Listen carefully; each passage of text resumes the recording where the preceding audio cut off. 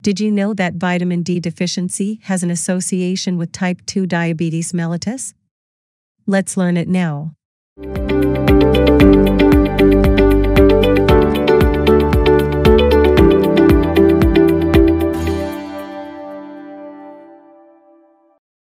According to International Diabetes Federation, 537 million of adults are living with diabetes, and now it's considered the most common metabolic non-communicable disease in the world. As type 2 diabetes rates continue to soar, there is an urgent need to find effective ways to tackle this disease. Vitamin D supplementation has emerged as a possible solution. Type 2 diabetes is typically diagnosed when high blood glucose levels are detected.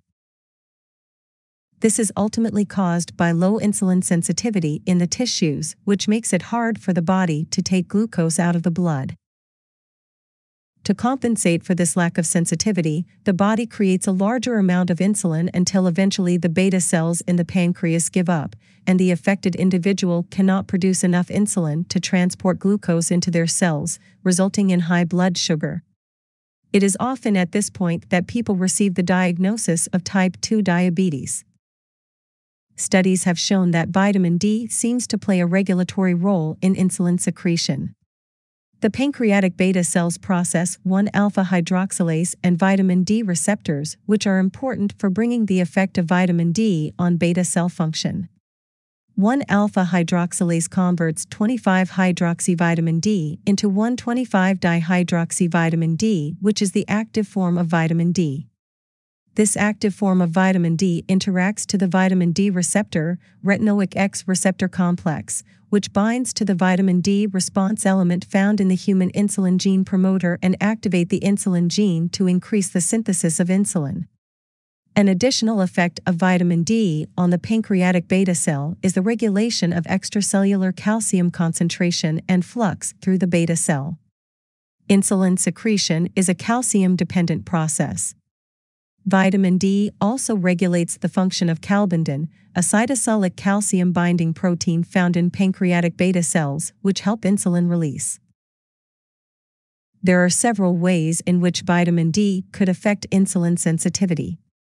125-dihydroxyvitamin D interacts to the vitamin D receptor, retinoid X receptor complex, which binds to the vitamin D response element found in the human insulin receptor gene promoter region and increase the total number of insulin receptors on the cell membrane. Vitamin D enhance insulin sensitivity by activating peroxisome proliferator activated receptor delta, which regulates the metabolism of fatty acids in skeletal muscle and adipose tissue. Apart from this, hypovitaminosis D also leads to an increase in the levels of parathyroid hormone, which has been associated with insulin resistance. Vitamin D insufficiency has been associated with increased fat infiltration in skeletal muscle, which contribute to a decreased insulin action.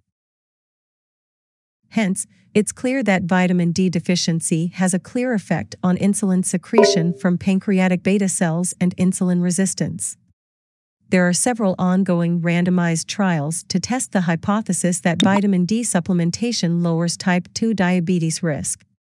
If you have already taken vitamin D supplements for diabetes, mention your dose in the comments section. Thank you.